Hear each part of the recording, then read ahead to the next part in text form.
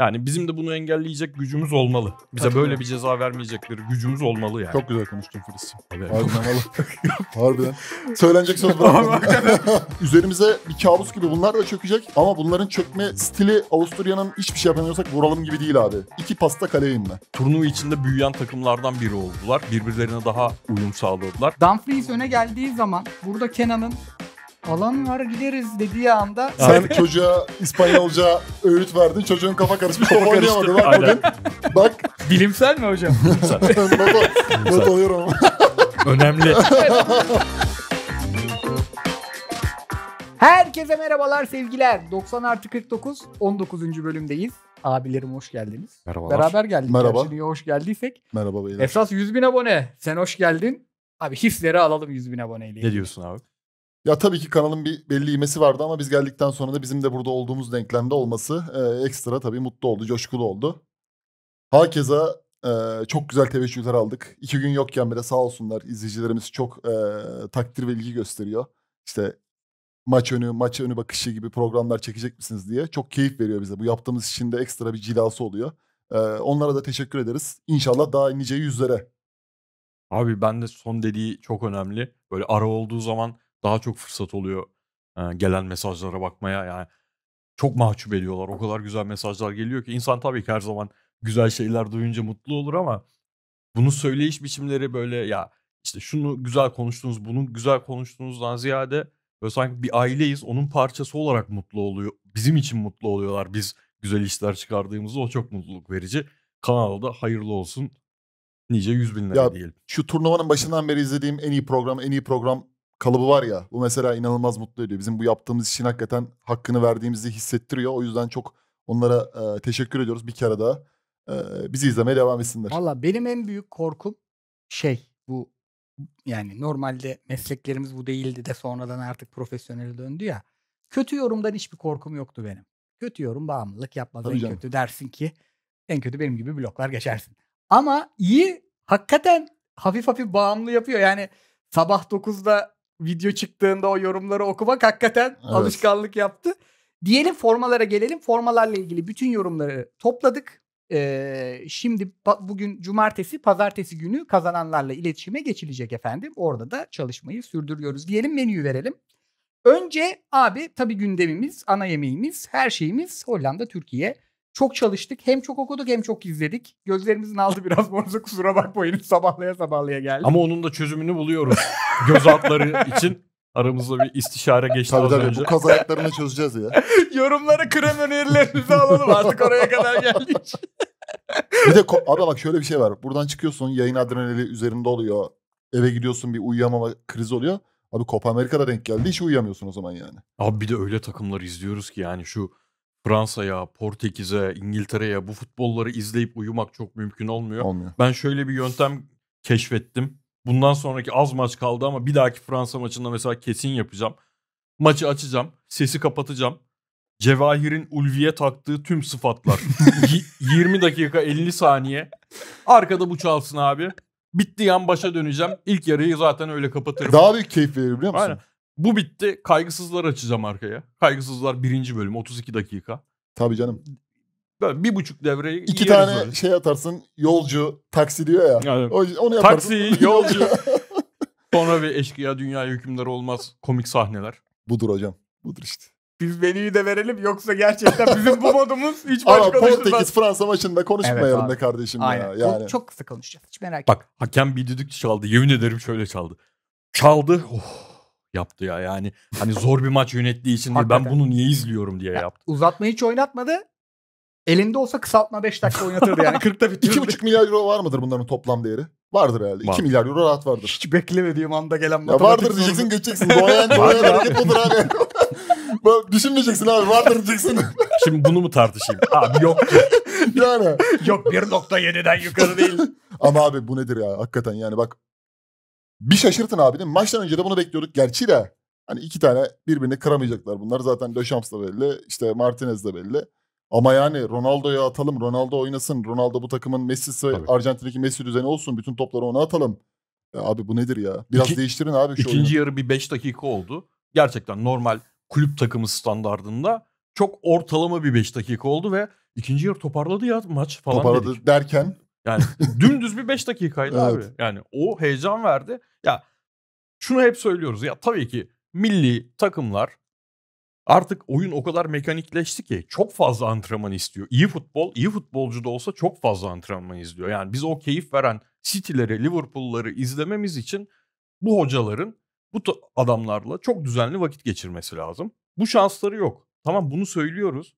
Turnuva futbolda oynamak, skor odaklı oynamak da okey. Ama Manchester City kalibresinde kadroyla Sheffield United futbol oynuyorsunuz. Abi- Artık ayıp yani. Ayıba abi şey de mesela Dembele. O topu oradan dört kere aldın. Aynı vuruşu dört kere atma ya. Mesela yani ayağının içine aldığın zaman bir başka bir olguyu düşün. Başka bir atak varyasyonu düşün. Alttan şut aynı şut. Ondan 10 dakika önce atmışsın. E diğerleri de aynı. Bir tek hani Pepe'nin biraz 41-42 yaş sürmetine yani oyunda bir çabasını enerjisini görüyorsun yani. Başka da o kadar enerjik adam yok sahada. Daha Yarı kötü, yaşındakiler öyle oynayamıyor. abi daha kötüsünü söyleyeyim. Dembele artık bu yaşında. Yani zaten standardı belli olmayan bir futbolcu. Sana bir 10 dakika oynar dünyanın en iyi futbolcusu. Bir 5 dakika oynar Emegara. Şimdi böyle bir adam hadi o onu yaptı. Abi Bernardo Silva kadar şu an dünyada 5 tane her açıdan güvenebileceğin adam sayar mısın? Oyuncular öyle bir hale gelmiştiler ki bu teknik direktörlerle çalışırken ya maçın sonunda en iyi oradaki en iyi şut yani diğer futbolcuların o anki sahada olan futbolcuların işte Conceição'nun falan atacağı en iyi şuttan Bernardo Silva'nın atacağı en kötü şut daha kaliteli şut. Bernardo Silva'da o vurma özgüveni yok. Bırakıyor. Conceição'ya falan bırakıyor. Yok. Kimisi de Ronaldo ile Mbappe'yi arayacağız diye pozisyonları hiç ediyor sahanın içerisinde. Evet. Çok çok şey ya bu hani e, teknik adamlar üzerinden okuyoruz ama oyuncu oyuncu grubunun da mesela bayağı bir mutsuzluğunu artık bu bu tür maçlarda Zaten Bruno ile Ronaldo'nun net gergin olduğunu tabii tabii. gördüm ben. İki barkola girdi, iki fırfır yaptı mesela. Tamam kötü vurdu, kötü vurdu ama bir gözümüze hareket getirdi yani. Evet. İyi. Fransa Portekiz maçını. Bu arada Felix penaltı kaçırır. Analizimi de Evet. yaptım. Adam söyledi yani. Söyledim yani. Dakika yüzde Bak tek şey olsa 2-3 tane oyuncu için söyleyip bir de Felix'i eklesen tamam. Bir Felix kaçırır bunlardan dedi. Ömer Öndür dinle dinle bir şey öğrendik hocadan. Diyelim menüye geçelim. Çünkü yani bakmayın burayla başladığımızda Hollanda maçını uzun uzun konuşacağız. Duygusuna gireceğiz. Hollanda'nın oyununu tarif edeceğiz. 11'imizi tahmin edeceğiz. İsmail'in yokluğunda orta sahamıza bakacağız. Ee, hem Merih'in yokluğunu konuşacağız. Ee, ön üçlümüz böyle mi çıkmalı? Avusturya maçında mı gibi mi çıkmalı? Onları konuşacağız. Bayağı bir çalıştık. Ondan sonra e, Fransa Portekiz konuştuk zaten. İspanya Almanya'yı da bir kısa bakarız. Sonra İngiltere İsviçre ile ilgili bir minik sorun var. Sonra da şarkılarımızı seçeriz ki güzel şarkılar seçtik Kıyıcı Hoca ile. Fritz Hoca da arayıştaydı bulmuştur. Buldum buldum. Diyelim başlayalım. Abi önce maçın duygusuna girelim yine. Ee, burada Merih Demiral'la ilgili alınan karar da e, bu duygunun ülkede artmasına, e, değişmesine hatta biraz sertleşmesine sebep oldu. Ben şahsen konu siyasetse, konu tarihse kendime güvenmem hiç güvenmedim. Sayısal öğrencisiydim. Ee, ülkenin tarihiyle ilgili de burada buralarda konuşacak kadar bilgim yok ama biz çok turnuva izledik. E, bu UEFA'nın verdiği cezalara falan hakimiz. Bu cezanın e, haksız bir ceza olduğunu ben size bir izleyici olarak işte e, Euro 96'dan beri izliyoruz. Biz neler gördük? E, ülkelerin simgeleriyle ilgili başka ülkeleri hatta rahatsız edecek hareketler gördük. Böyle cezalar görmedik. E, görüp ka- kaçırdıysam da hakikaten düşündüm aklıma gelmeli. Yani bu haksız bir ceza.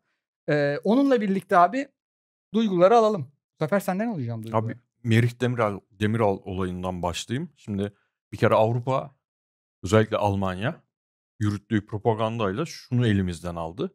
Ben bunu kendi içimde seninle içeride konuşurum mesela. Burada konuşurum konuşmam önemli değil yani. Halk olarak kendi içimizde biz bunu konuşuruz. Ya o bir siyasi partinin hareketi midir? Bizim ülkemizin sembollerinden biri midir? Senle ben tartışırız. Sonuca varırız varmayız.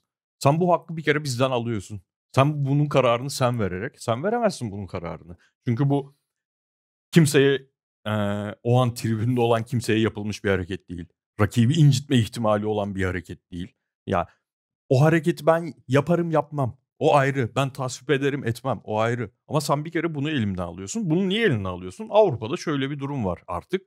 Özellikle dünyadaki son 4-5 yıldaki gelişmelerle birlikte yıllardır bize sattıkları işte biz şöyle liberaliz, böyle demokrasinin beşiğiyiz. Her yerden özellikle Filistin olayında çok net bir şekilde gördük artık. Zaten biliyorduk ama çok göstere göstere. Yani siz haksızın yanında asla değil, sizin işinize gelen haksızın yanında çoğu zaman da haklı olsun da nasıl olursa olsun benim işime geliyorsa haklısının yanındasınız. O yüzden bir yerlerden şov yapmaları gerekiyor hala o makyaj var ya onların liberalizm makyajı kendi batı demokrasisi makyajı. Oradan şovu en az zarar görecekleri kimsenin de onlara bir şey demeyeceği Türkler üzerinden buldular. Türkiye üzerinden buldular. Bütün hikaye bu yani. Ama yani bizim de bunu engelleyecek gücümüz olmalı. Evet. Bize böyle bir ceza vermeyecekleri gücümüz olmalı yani. Çok güzel konuştun Filiz. Abi, Harbiden valla. Harbiden. Söylenecek söz bırakmadım. Abi sana da o Çok- zaman çok- maçla ilgili duyguları sorayım. Çok kısa bir şey söyleyeyim. Ben Ahmet'in söylediklerine harbiden katılıyorum. Benim yani benim söyleyeceğim şeyleri çok daha hafifleterek çok daha vurucu şekilde söyledi önce. O yüzden tebrik ettim. Montella çok güzel bir şey söylemiş. Bu bizim tarihimizin sembolü demiş. Herhangi bir propaganda hareketi değil. Bizim tarihimizin sembolü. Bence zaten bir İtalyan teknik adamın Türkiye'de yaşamış, 2 yıldır, 3 yıldır Türkiye'de yaşamış bir teknik adamın bunu söylemesi, Montella gibi karizması ağırlığı olan, dünya futbolunda yeri olan bir ismin bunu söylemesi her şeyi özetliyor.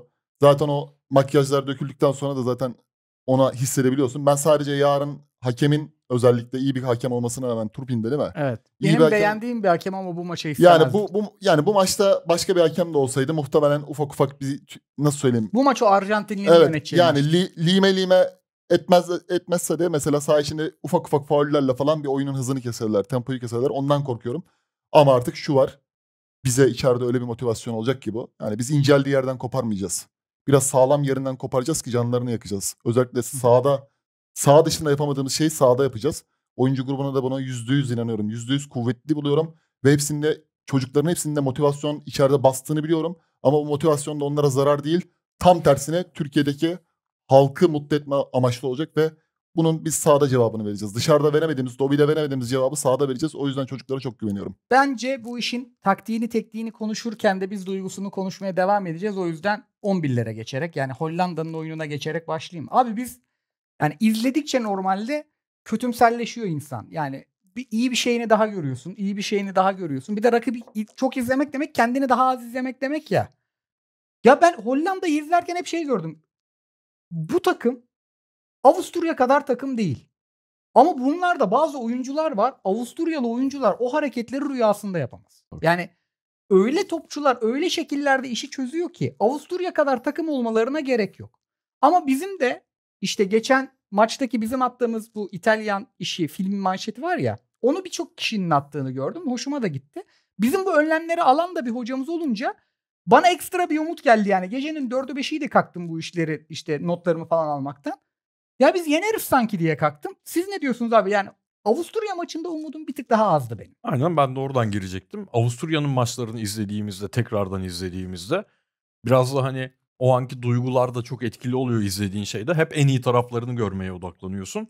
Avusturya daha "Ee, abi şunu da iyi yapıyor aslında bunlar. Bu dikkatimi çekmemişti. Bunu da iyi yapıyorlar. Şunu da iyi yapıyorlar. Avusturya'da daha fazlaydı. Hollanda'nın iyi yaptığı şeyleri zaten biliyorduk. Onun ekstra bir şey görmedik. Ama Hollanda yani şöyle diziliyorlar şöyle diyeyim. Yani büyük ihtimal maçın büyük bölümünde biz bırakırız topu. Hı hı. Ee, veya onlar vermez bize. Şunu üçüncü stoper mi? Aynen. Okey şöyle geliyor. Dumfries buradan geliyor. Xavi Simons Onların ardası gibi nasıl oynuyor oynarsa oynasın. Şurada şöyle Malın da şöyle geliyor. Şurada bir orta sahada dörtlü hat kuruyorlar. Gakpo kanattan kanat forvet. Dumfries buradan acayip işler çıkarak hem kanat forvetlik hem kanat beklik yapıyor. Hatta Ve- sen konuşurken ben onları hücumda yerleştireyim. Depay da iyice de derine girip burada 4 ya da 5 kişilik bir kalabalık oluşturarak rakibi burada pasla hırpalayarak sonra topu sürekli olarak ama Gakpo'yu birebir bırakmak. Bütün plan bu ve bu çok iyi işleyen bir plan. Zaten Romanya maçında en iyi maçlarını gördüler, oynadılar. Bu planı çok iyi işlettiler.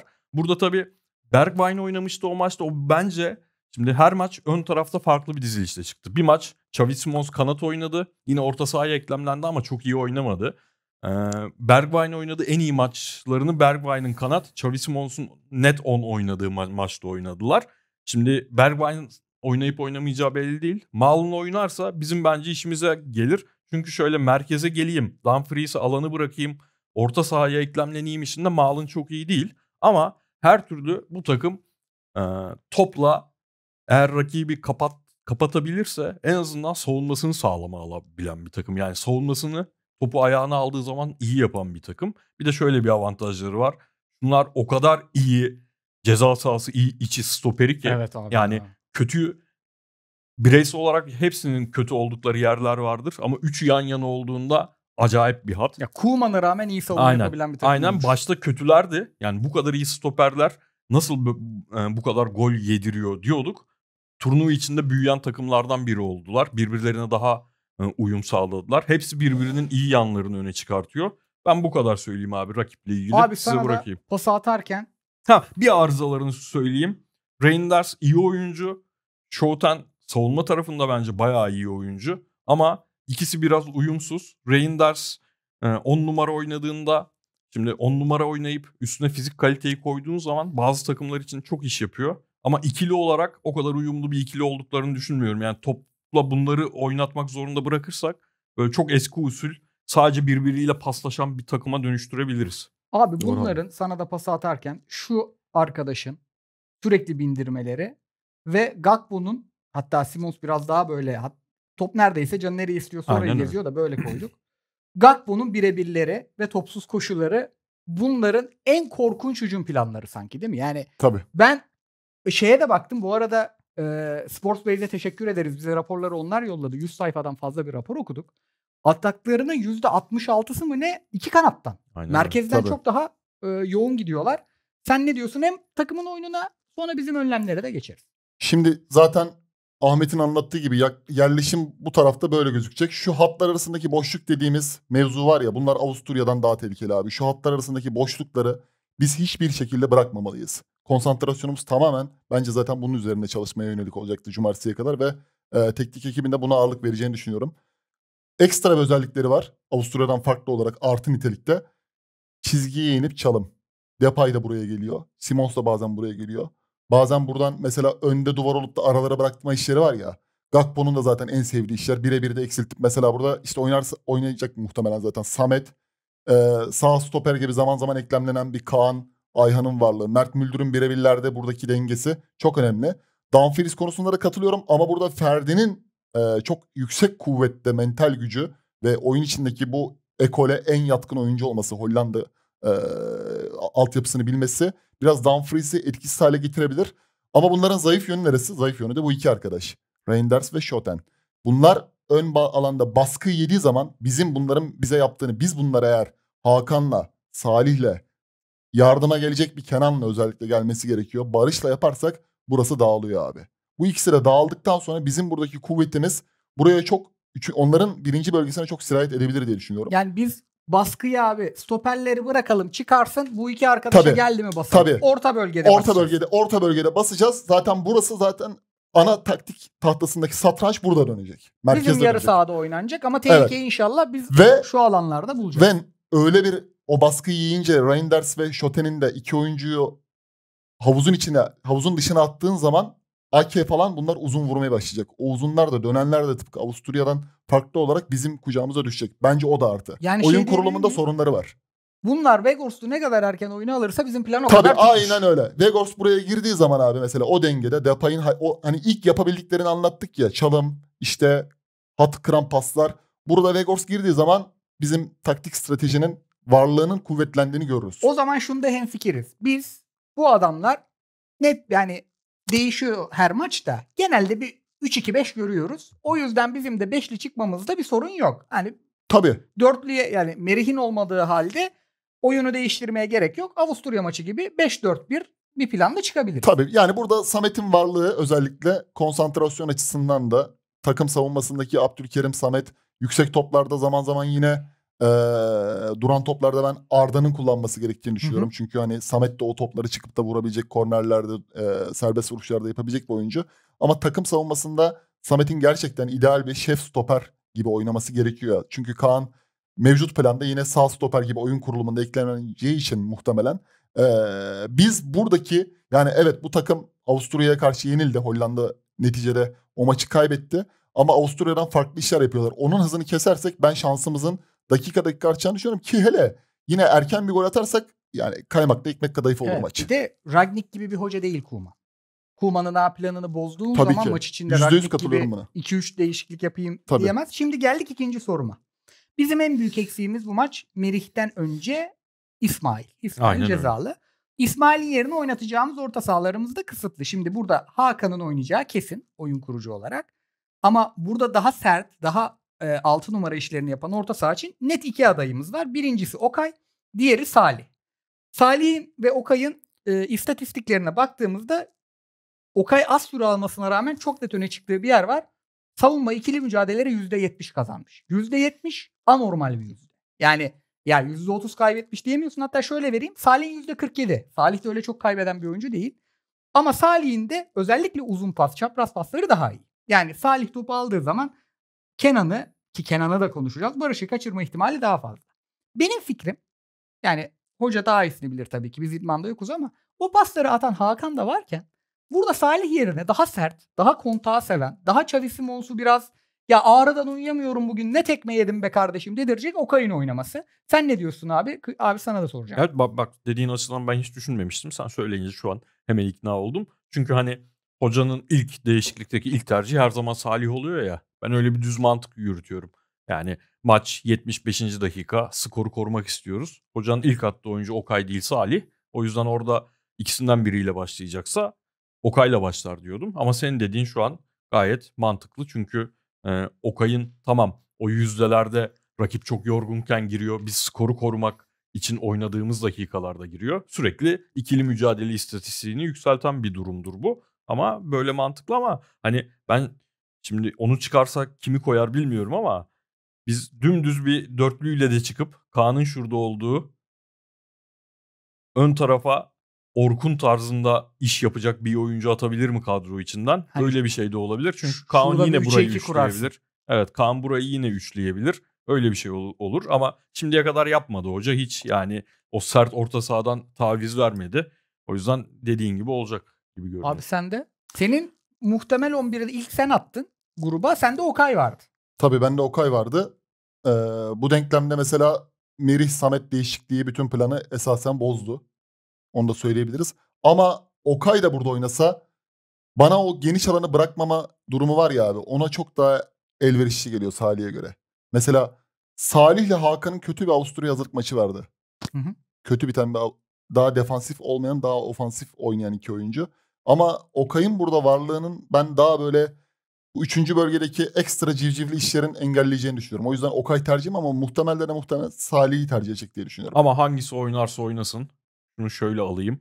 Şimdi şu Depay iyi bir turnuva geçirmiyor bence. Ara ara iyi yaptığı işler var. Ama zaten Depay'ın bütün kariyeri ara ara yaptığı için zaten bu yaşında e, beklentinin çok altında kaldı. Ama şurada ikisi o kadar hareketli ki buradan kim oynarsa artık Xavi Simons 10 oynarsa o eklemlenecek. Burada acayip bir hat olacak. Yani bizim savunmamız gereken yer burası. Tek başına Mert Müldür'e Gakpo'yu savun diyemezsin. Şu an Mert Müldür'den çok daha iyi bir sağ bekimiz olsa defansif anlamda o da savunamaz.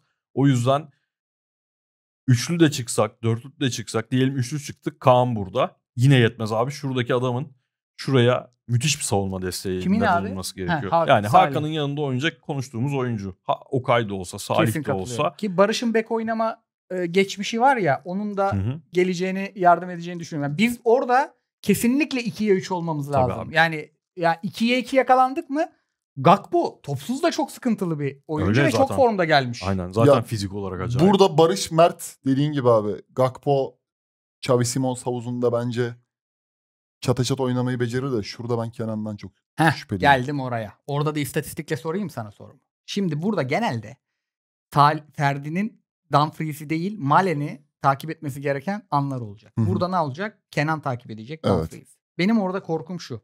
Kenan savunmada ikili mücadeleler %17. Çok düşük. Dumfries'de yani %17'yi %3 yapar. Boğa gibi bir adam.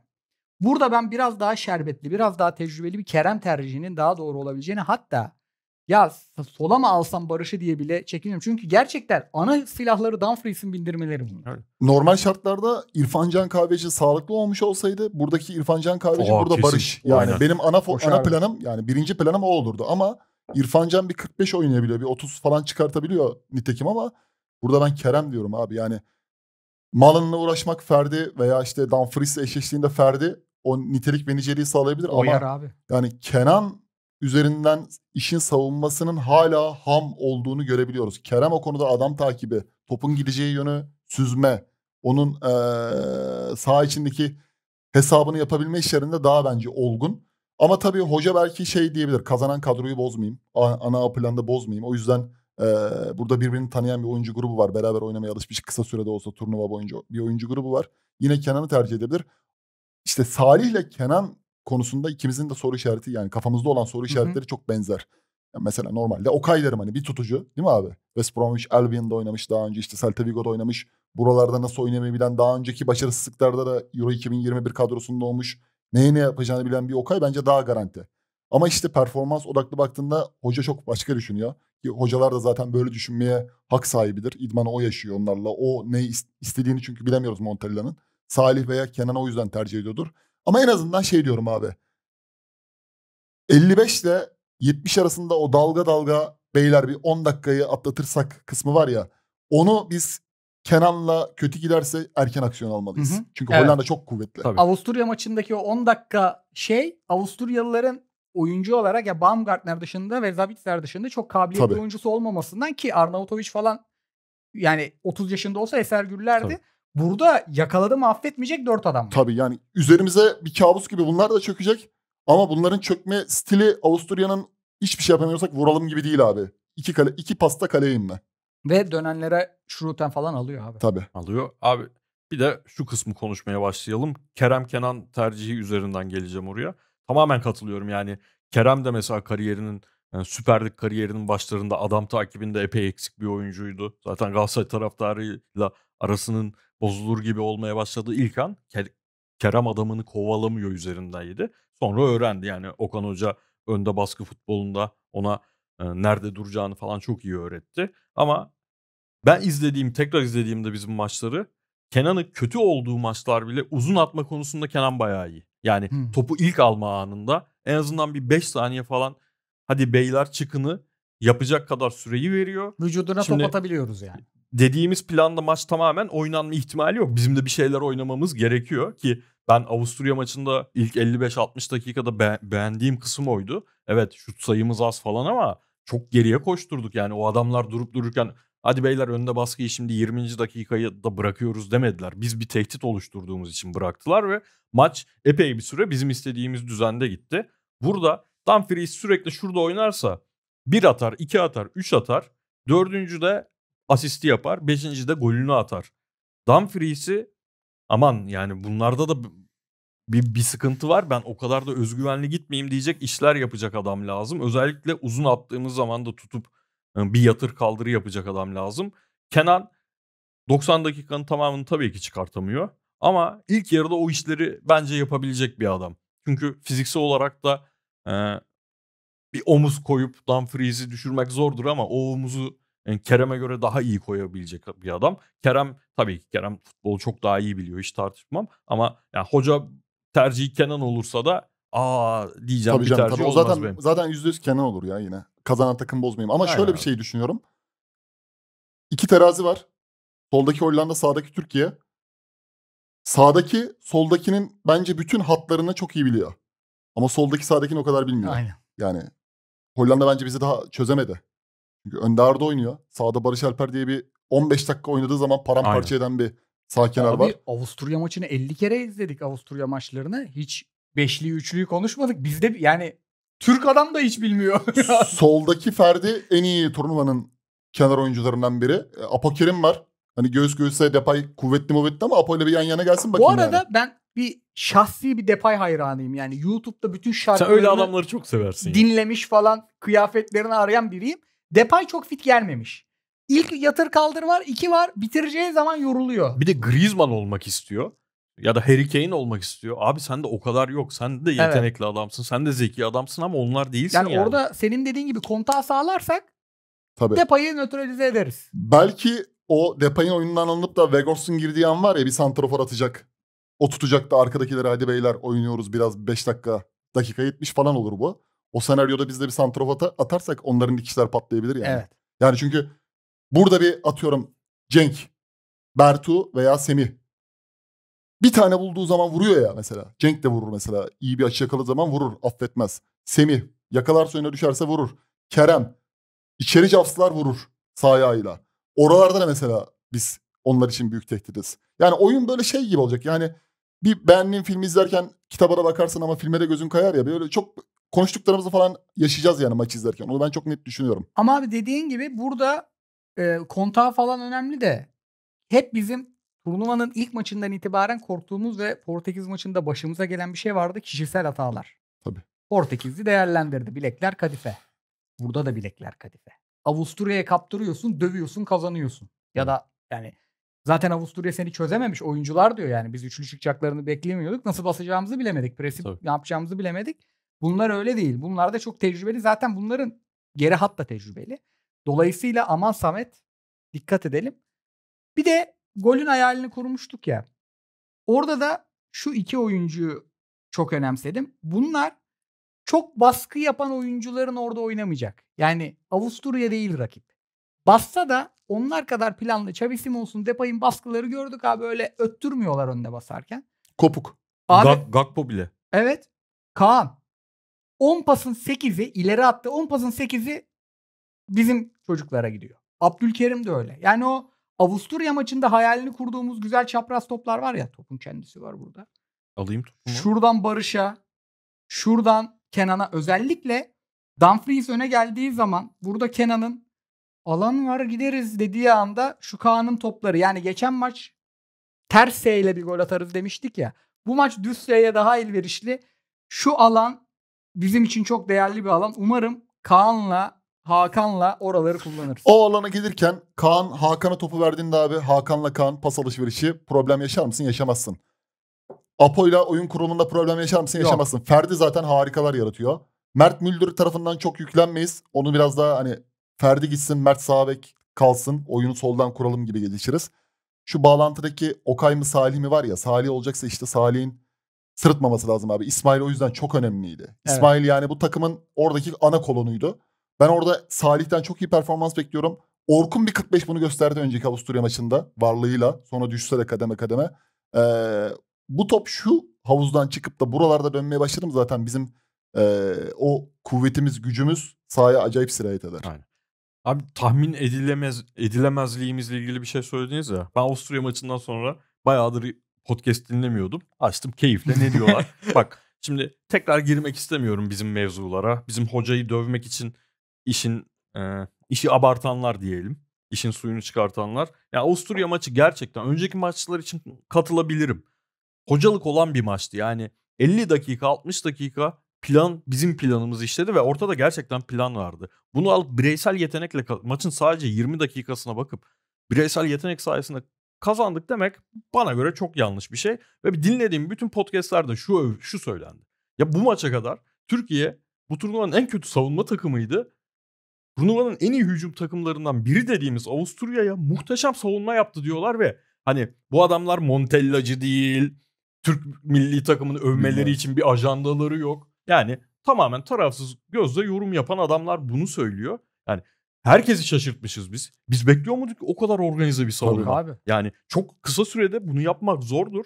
Ha hocaya diyebilirim ki di- diyebiliriz ki daha önce keşke bu organizasyonu kursaydın ama kısa sürede de yaptın. Helal olsun. O yüzden bu maçta da ortaya çıkacak şey bayağı şaşırtıcı olabilir. Mesela önde baskı konusunda ben hep önde baskıcıyımdır genelde.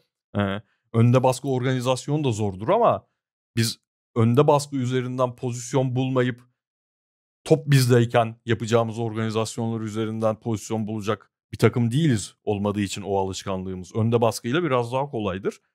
Bu maçta mesela demiyorum çünkü şu herifler inan zaten çok yanıltıcı bir takım Hollanda. İngiltere falan kötü oynuyorsa kötü oynuyor. Hollanda kötü oynuyor göz, görünüp ulan bunlar bu kadar isimli topçular var niye böyle oynuyorlar derken şunlar zaten öyle bize saçma sapan gelen paslar yapıp bütün amaç bunların sıkacağı toplar ve yani De Vrij, Van Dijk, Ake abi sıkıyorlar. O yüzden önde baskıda aman orta blok baskısı iyidir. Direkt orada Evet. beklemek. Şu adamlar üzerinden onu yapmaya çalışmak iyidir yani. Yani Rangers'la Şoten'i de Arda muhtemelen biraz yoracak. Yoracak. Yani yormalı. Jonathan Lee'in bu hafta çok güzel bir Guardian'da yazısı vardı Arda ile ilgili. Zaten özetlemiş. Harika bir kalem.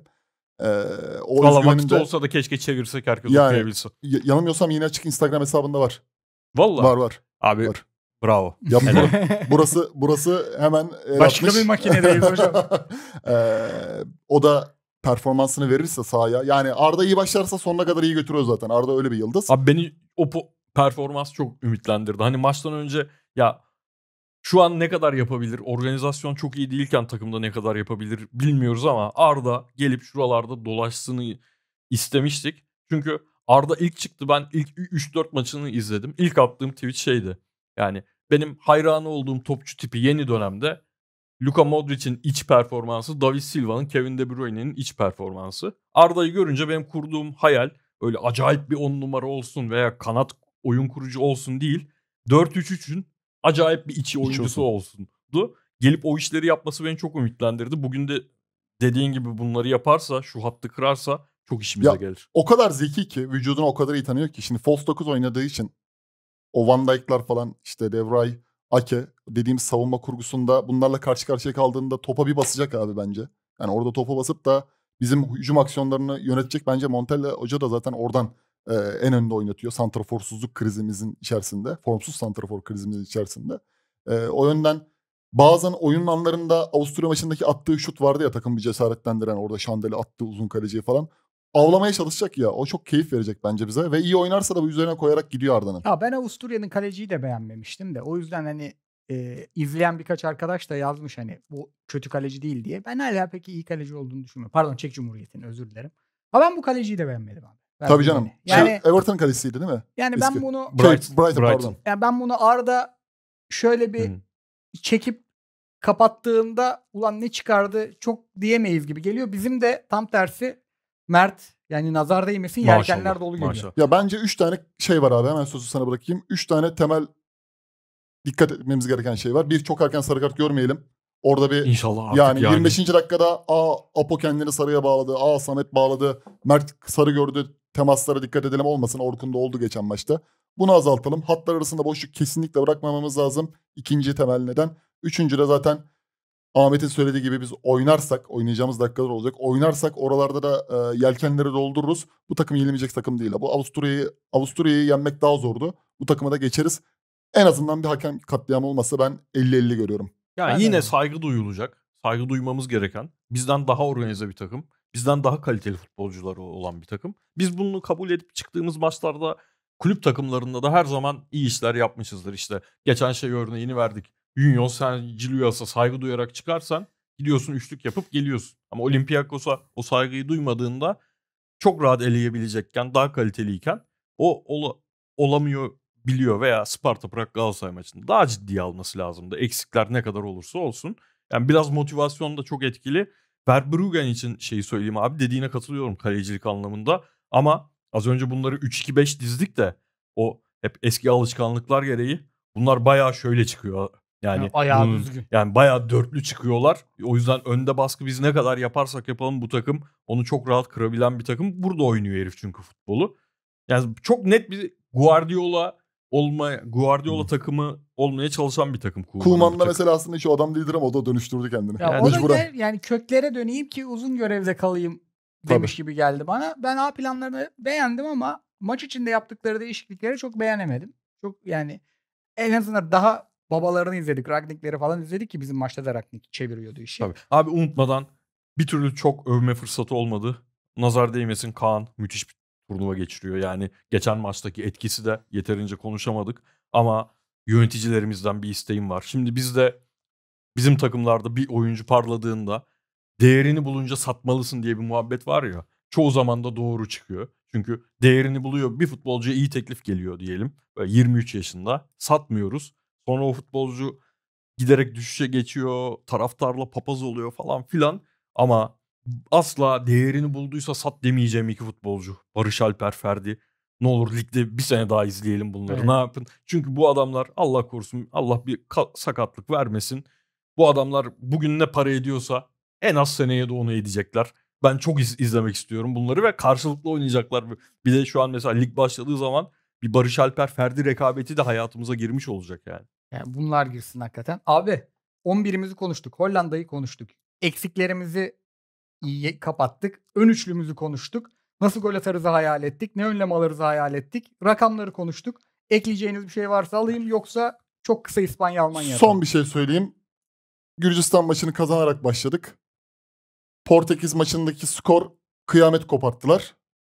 Turlar gelince şimdi herkes Montellacı oldu. Biz çocuklar görevini yaptı. Teknik ekip görevini yaptı bence. İyi bir turnuva geçirdiğimizi düşünüyorum. Hem mücadele gücü olarak Çek maçı, işte Avusturya maçı. Çeyrek final başarıdır. Yarın bir ters skor olunca izlenme, tık, kesit, Reels bunlar için çocuklara çok yüklenmesinler. Montella'ya çok yüklenmesinler. Sadece medya, basın, dijital, işte ana akım medya. Bunu bekliyoruz, bunu istiyoruz. Çocukları da krallar gibi güzel karşılayalım. Ee, eleyeceğimizi düşünüyorum ama tersi skorlara bunları söylemek lazım ki hani rüzgar değişince herkes Montellacı oldu ya şimdiden bir buraya virgül koymak istedim. Ben de senin dediğinden alayım topu. Ben de hem hocamıza hem oyuncularımıza yani yaklaşık 40 dakika bizim futbol konuşmamıza imkan verecek bir şeyler gösterdikleri için, oynadıkları için, planladıkları için teşekkür edelim. Biz skor ne olursa olsun yarın e, sabah yine bunları konuşuyor olacağız diyelim. Abi İspanya Almanya'yı hiç objektif izleyemedim. Bir İspanya bendeydi zaten. İki Merih Demiral olayında bir sürü haber okuduk Almanya ile alakalı. Üç bir de sen daha iyi biliyorsun bu yani dünyadaki olanları ama sanki Filistin'deki yaşananlara bu katliama ses çıkaran nadir Avrupa ülkelerinden biriydi İspanya. Üçü bir araya gelince yani İspanya formamla izledim. E, 70 dakika hiç ev sahibi hissettiremedi Almanya kendini. Çok takdir ettim.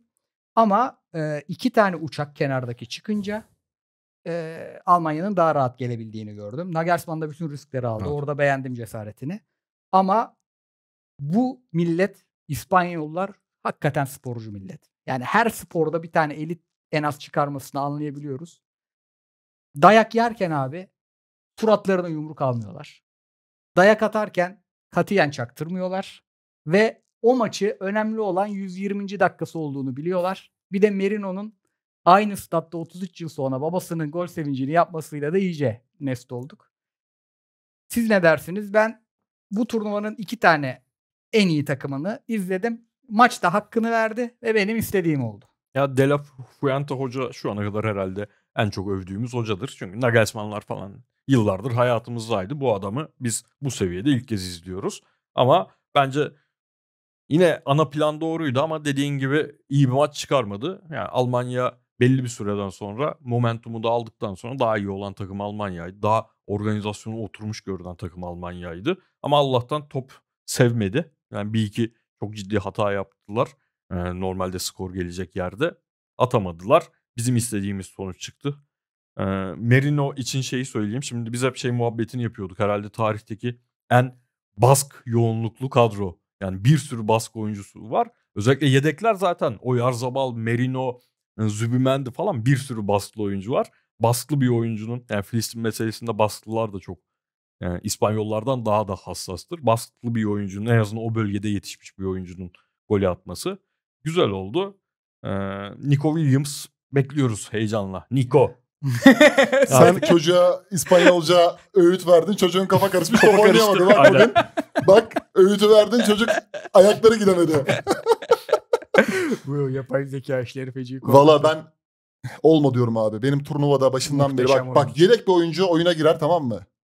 Der ki ulan hoca beni oynatmıyor. Pedri oynuyor. Brian Ruiz oynuyor. Ben de iyi topçuyum. Ben de kendimi göstermek isterim. Zaten Rodri kesilmez. Ben oynayamayacağım bu takımda. Ama girdi tak tak tak tak tak. Böyle top oynarım dedi. Ve harika bir maç çıkarttı. Olma için çok ekstra sevindim. Zaten gol de attı. Asist onun. Asist onun. Ki mesela Morata'nın ayakları gitmiyorsa o maçta onu anlıyorsun mesela. Morata bugün iyi değil. Nico ilk defa bu kadar kötü gözüktü ama burada bence teknik direktör onunla ekstra bir şey istemiş mesela işte karşısında kim mi oynayacak falan. Biraz da ge- geriye gel sen de yardım et falan ekstra şeyler istemiş ondan kötü gözüktü. Yamal'ın çıkması rezaletti bence. Erken çıkarttı. Ah, Hoca orada hoca yani orada onu yapmaması lazım. Tamam alt yaştan beri bütün oyuncu grubunu iyi tanıyor ama yani böyle turnuvalara oynamak da turnuva hocası olmak da böyle bir şeydir. Hani alınacak ilk karar Yamal olmamalıydı orada. Almanya'yı beğenmiyorum zaten. Oyunu da ben beğenmiyordum. Genel anlamda zaten burada İspanya'nın kazanmasını da ekstra sevindim. Senin girişte bahsettiğin gibi. Ee, çok iyi oyuncular olan ama iyi bir takım olmayan bir topluluk Almanya. Yani Kroos onu ayrı tutuyorum. O her zaman bir efsane. Zaten artık ayrı tutuyoruz. Ayrı, aynen onu zaten ayrı tutuyorum ama Musiala dar alanda tık tık iyi oynar. Kim mi tecrübe ama savunmayı, kurguyu yönetmek de öyle değil mesela. Orta sahada oynamak istediğini falan anlıyorsun bazı yerlerde. Emrecan'ı koydu mesela Andrich yerine. Şaşırttı beni o tercih. Ön tarafta Fülkürük girdi her topa kafayı vurdu. E sen Havertz'ten bunu bekliyorsun 60 dakika 65 Abi dakika. Almanya'yı her övdüğümüz yayında Almanya'nın başlayan değil bitiren 11'ini övdük. Bak hep değişikti. Fülkuruk girdi kurtardı. Diyebiliriz. Wirtz çıktı bir şey oldu. Wirtz girdi bir şey oldu. Orada bir böyle şey var. Değirmen var. O değirmen ne oluyor biliyor musun? Flick'in kovulduğu noktaya geliyor her hoca. O değirmende o taşları yerine dizemezsen, o kaldırma taşlarını yerine dizemezsen yeterliliğin tartışılma noktasına geliyor. Almanya'da da en büyük sorun zaten bu. İyi oyuncular olan ama ana planı patlayınca B'si ve C planları belli olmayan bir kadro. E şimdi Nagelsmann'le devam edecekler. 2026 Dünya Kupası ama eee, alttan da oyuncu gelmiyor abi. İyi bir santrafor gelmiyor mesela hala. Havertz o adam değil yani. Olmayacak Havertz'ten. Havertz o rolü oynayacak bir adam değil yani. Abi bize de inşallah bir gün örnek olabilecek bir şey söyleyeyim. Almanya efsane kadroları kurduğu dönemde 5 büyük lig içinde genç oyuncu oynatma ortalaması en yüksek ülkeydi. Onu Fransa'ya kaptırdılar. Üstüne İngiltere de geçti. Hem İngiltere'nin hem Fransa'nın gerisindeler artık. Oynatmazsan gelmez abi futbolcu. Bizim ülke için de öyle yani. Öyle. O oynaması lazım ki futbolcular futbolcu olacak yani. Ama yarın Almanya devam edemeyecek, Türkiye devam edecek inşallah. Bunu da söyleriz. Ya abi ama işte Barış'ı oynattın futbolcu oldu. Kerem Tabii oynattın canım. futbolcu oldu. Ferdi'yi oynattın. Vitor Pereira hocam. Ferdi'yi sol bek yapmak. Yakışıklı adam ya. Abi geçelim günün diğer maçına. Çok kısa soracağım bunu. İngiltere İsviçre. Herkesin o kadar favorisi İsviçre ki İngiltere kazanacak gibi geliyor Evet bana. öyle oluyor. öyle. mi? Sende de öyle, öyle mi? oluyor da ben İsviçre şu ana kadar oynanan bütün maçlarda yani grup aşaması sonrası oynanan bütün maçlarda en, en beğendiğim maç hala İtalya İsvi- İsviçre'deki İsviçre. Yani şeye göre Avusturya'ya göre bir iki tane daha fazla sürprizleri var. Organizasyonun üzerine bir iki tane daha sürprizli oyuncuları var.